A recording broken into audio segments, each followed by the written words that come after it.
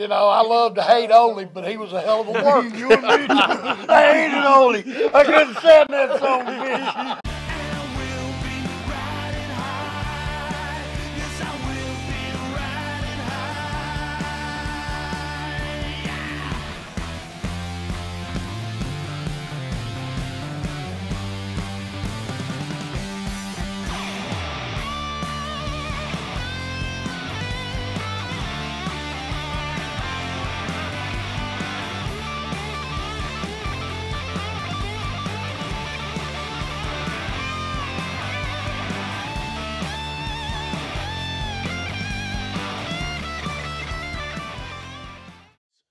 We've got Oh, an icon in Tommy Rich yes. and an American hero and a treasure, Can we stand? Mr. Manny Fernandez. Can we stand for Manny? We can stand I'm for Manny standing for Manny's Fernandez. service. There we go.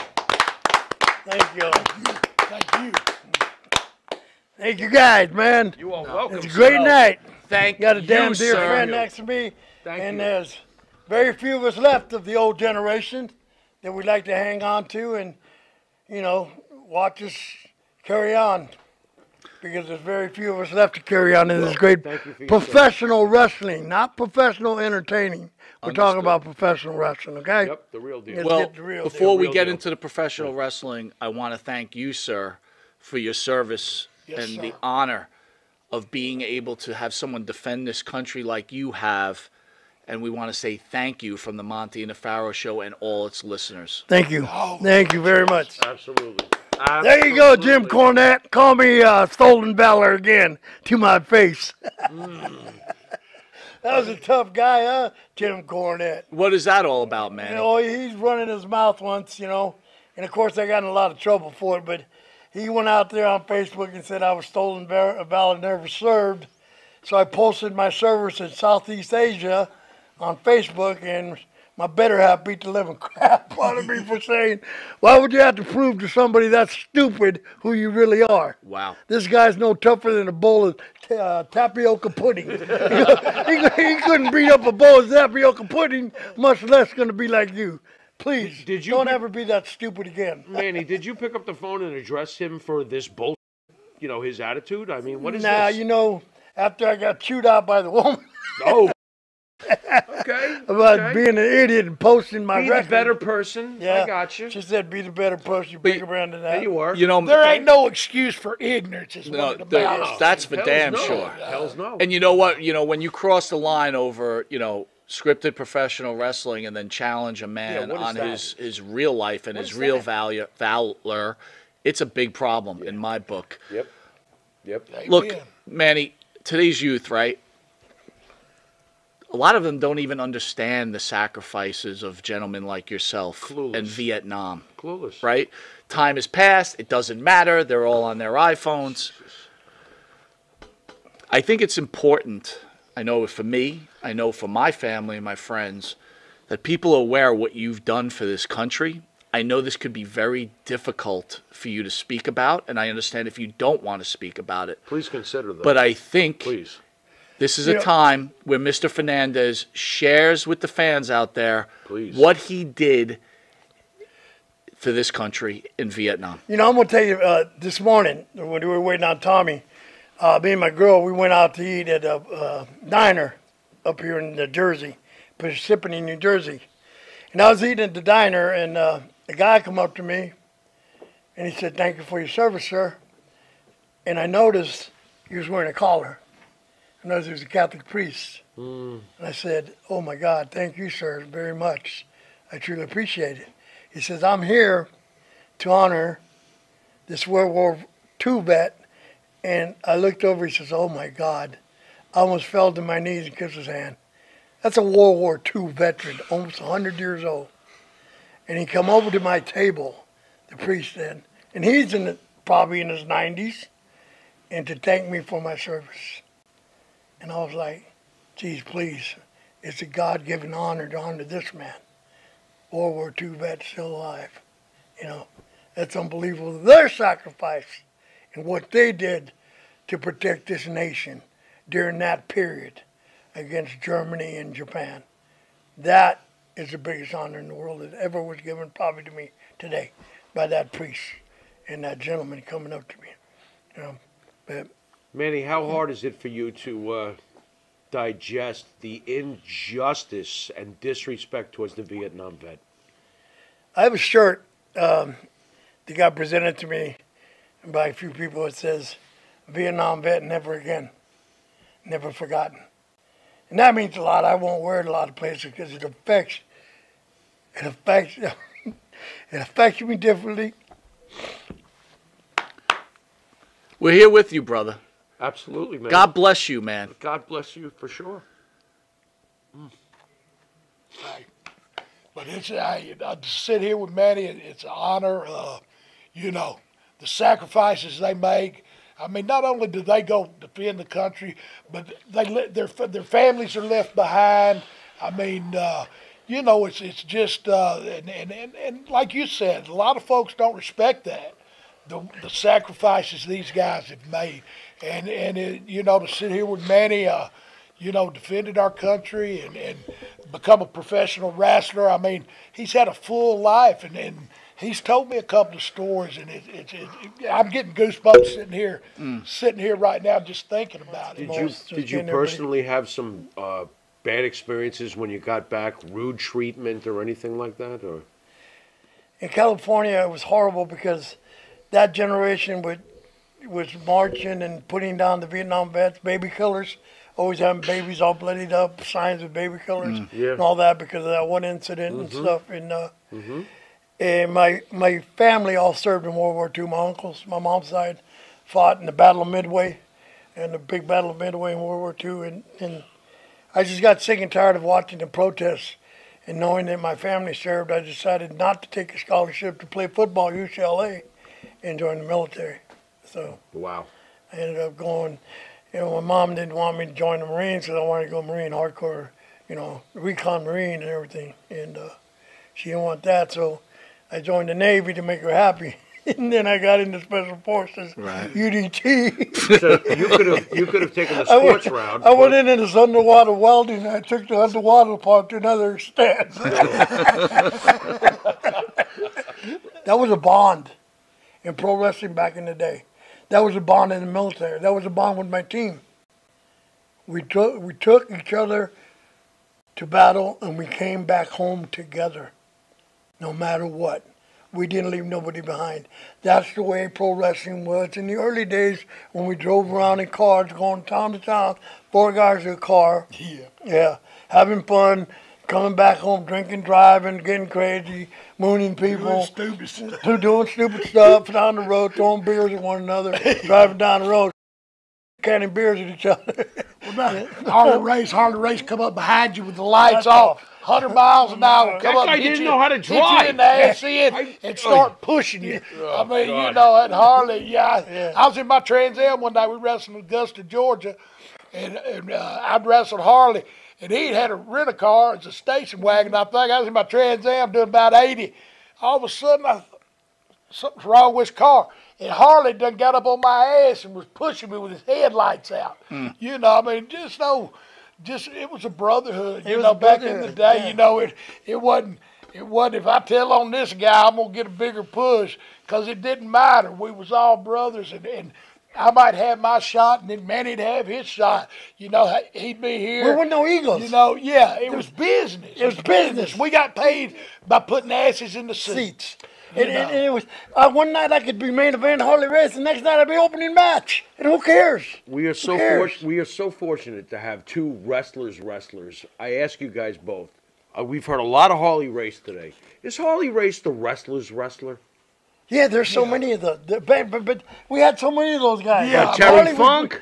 Yeah, you know, him. Funks, I mean- the Funks. There was Dory Funk and Terry Funk night and day. I called him night and day because Dory was so scientific. He, he'd be in the short arm scissors for like six hours, one hole for six hours. You get up, get down, but but it was the never people was buying boring. it, The though. people bought it, right, Yeah, Tommy? they They get so excited every time he would move a muscle, whoa, and it would be one stupid hole. Yeah. it's a rest hold. What's the problem? But that- you know, now I think it's more like they, they just out for each other. They, they, I- For themselves. Yeah, they, Yeah. I mean, and, and I may be wrong. Maybe they are brotherhood, but the stories I hear, you know, I, I don't know. I really doubt they're traveling the road with their rent a cars up and down the way you Oh, guys yeah. did. I really doubt that. So Oh, you guys no, had. Sometimes we travel in our own cars, you know. what I'm saying? But the fun part about the old days is we would take turns. Who would drive that day? He'd drive his car. So we wouldn't put a lot of miles on our cars because we had four guys on four different cars, and one day it would be Tommy's turn to drive. The next day it'd be my turn to drive. the Next day it'd be Stan, Stan's day to drive. The next day it'd be Ollie's day to drive. So we all had different cars at different times, and, and, and we had fun. the young guys, I mean, it's, it's almost like dancing. You know, one leads and one follows. And, and we had some of the greatest leaders in the world. Oh my God! dude. You know, the Briscoes, I mean, Blackjack, uh, King Kong Ole, Moscow, Ole and Gene. You know. You know, I love to hate Ole, but he was a hell of a worker. You and me. I hated Ole. I couldn't stand that song, bitch. I couldn't stand That's it. right. I love Gene Anderson, though. Oh, I love Gene was Gene. good, Good, good, good. He's a trumpet throat. Oh, he was, and- and Gene, bless his heart, he had a nerve bad. And he didn't remember he'd have to sling his arm. He'd sling his arm up on the wall to to prop it up. You know, what I mean, but that's what we did. And then Gene, Gene had that twist. Gene Anderson is so damn tough. Oh. Brother, when I we used to do promos at Woodline for W uh, Mid Atlantic, stuff like that, and I'd get all mad at Ric Flair, start cussing Ric Flair. Gene Anderson would grab me by the thumb and pull that thumb out. Oh, Gene, Gene, please, please. you better be quiet. Leave that boy alone. I said, okay, Gene, I'll leave him alone. Leave him alone. Manny, did you get along with Ric Flair? Like Hell no. personally? Hell's no. No, hell Do no. tell. Do tell. no. I never get along with that idiot. Really? Why? One time, the greatest time was me and Wahoo were mad because Crockett got pissed off at Wahoo and fined us. From now on, when you guys get upset, we're going to find you, deduct you some pay. right? So we were, and Crockett was in the office, and Flair and Crockett come out together, and while we turn around says, Hey, Crockett, don't turn the corner too fast. You might break Flair's nose. I bet he got fined too, didn't he? Both of you worked with Gordon Solie. Ah, What? So tell us, tell us what you both thought about Gordon Solie. Oh, this is.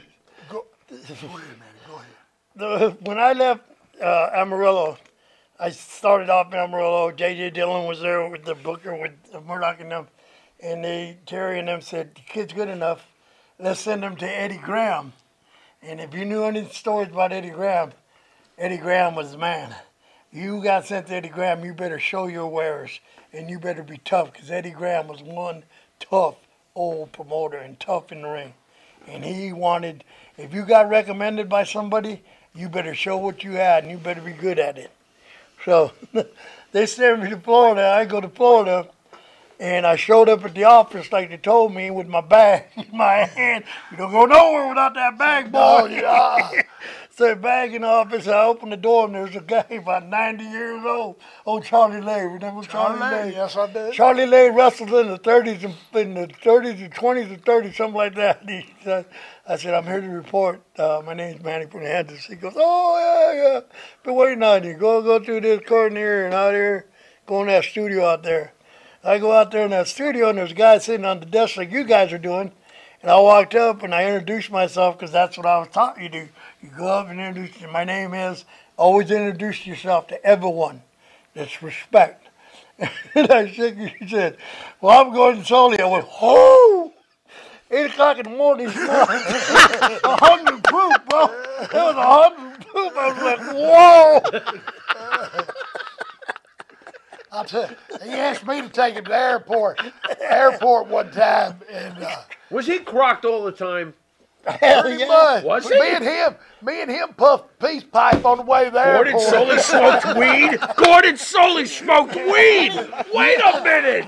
Are you serious? Yeah. I'm tuning in my 14 year old virgin ass and he's high? Yeah. Wow, Gordon rocks. That's Oh, great. Gordon, I'm gonna tell you, Gordon was rock. Gordon, Oh, Gordon I mean, and, and like Florida, I mean, he Gordon was the mouthpiece for Florida, And Georgia, Georgia. Absolutely. and and Absolutely. he could, and he just his his style. I mean, there's been great commentators. Don't get me wrong, But Not to me, Gordon. Gordon, Oh, there's no Gordon. he's like, best. I like Lance Russell out of Memphis, was but good. he was, He he's was like good. country, where Gordon was like, you know, just Yeah. he'd say was a rock stuff. star. He'd say stuff, and I think, is that even a real word? No, no, No, Gordon to me, he says, "Well, come over, kid. Uh, sit, sit next to me." So I sit next to him. He says, "You- "You're gonna have to go in there and get dressed." I go, "Get, get dressed." He says, "Yeah, they want you to get suited up, kid." So I, I got, I said, "Well, okay." I went in the little dressing room, the TV dressing room. I got all dressed, came back out, sat next to Gordon. He goes, "You gonna be all right, kid. Don't worry about nothing." So I'm looking at him, going like, "What the hell are you gonna do here? what the hell are you gonna do here?" And they came down the stairs. I see this big, big fat guy in blonde hair with Dusty Rhodes, and the guy behind behind him was behind him was Eddie Graham. And he comes down, and I look over at Gordon. He's got this big grin from ear to ear, and he's laughing like crazy. And then here come Jack and Jerry Briscoe down the stairs. Briscoes, that's a, yeah. Oh damn! You know Jack was two-time national collegiate Yeah, champion. sure. Oh yeah. Jerry was one Oh yeah. Yep. And they said, "You got your gear?" I said, "Yeah." And then Jack and Jerry got in the ring. I said, "Oh, I know what's gonna happen now." and I turned around, and that Gordon never stopped laughing. Oh. That- That's how I got along. He was so great with me. And then I got through getting stressed. Twist I you into fought back. I bookends. fought back a little bit.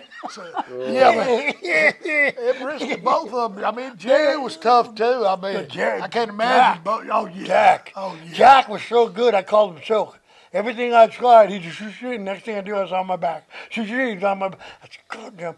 I got, Jerry got mad at me because I took him down. He wanted to do fights, and we jumped up, and I put my fist up, and I went to hit him, and Dusty yelled, hey! And so I stopped, right? And I told Jerry, I said, dude, do you want to go with these? I'll go with it. You're going to lose. and then Dusty said, Eddie Graham and, and Gordon goes, I think the kid's all right. He's gonna make it. He's gonna make it. So you, you guys mentioned Dusty Rhodes, right? So you know Cody Rhodes is kind of the big thing that's going on right Oh, yeah. now. Yep, he Uh, we've had so again, we've had so many greats like yourselves in here, and there's such a split decision on Dusty Rhodes. What was your opinion on Dusty Rhodes? Was was he about himself all the time, or was he? You know, what are, what are your guys' Is, thoughts? is he great? He Dusty was great, great. but He I mean great- Dusty, Dusty. I mean Dusty was about Dusty, but Okay. but if he seen you could draw money, I mean he He put you with him. he him. was smart. Yeah, he put you with him. Did Dusty put money in your pockets?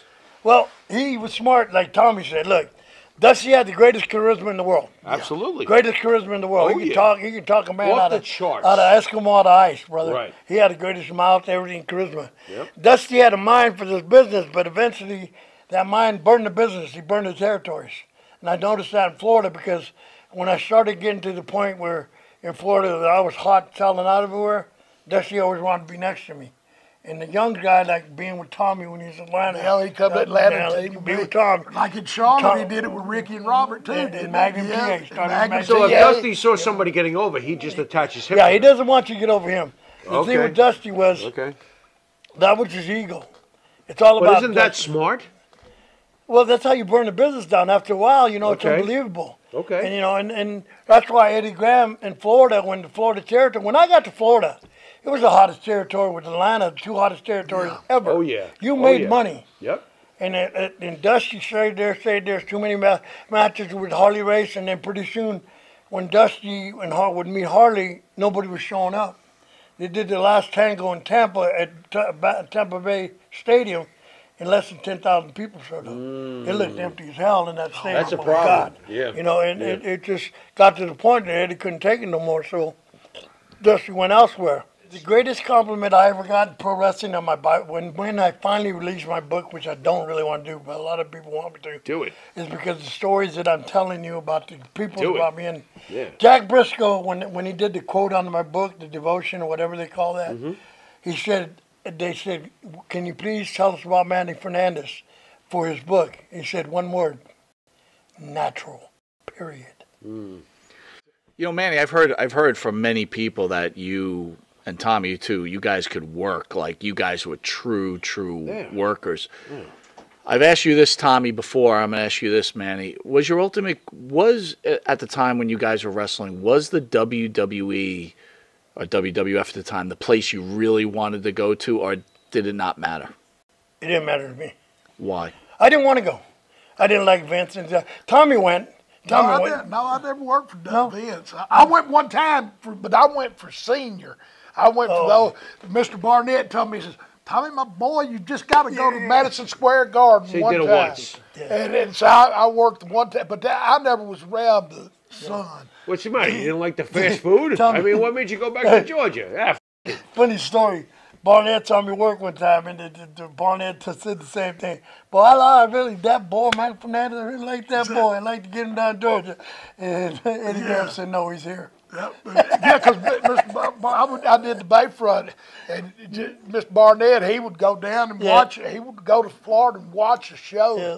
because it was just, it was back then. It was exciting. I mean, it wasn't, it wasn't choreographed. was the, it was WW, just- was the WWF like a joke to you guys? I'm just curious No, as to how you really- guys it looked at wasn't We really a joke. there. We just southern red. We just no redneck boys. No, but my, my question, But, but but, you know what? Our territory was even better. Why would I leave a territory, or he leave Atlanta, which was hot as hell? Carolina, we started getting hot as hell. When I came in, when Dusty brought me in from Texas, he brought me in. We started getting heat, and then when Wahoo was heel and I was baby, it started coming up. And why would I want to leave, or Tommy want to leave when we're making the same amount of money they're making, and we're more comfortable? uh, but just just being in the profession of wrestling, right? So you're you're playing like in the Omni or in Tampa, ten thousand people.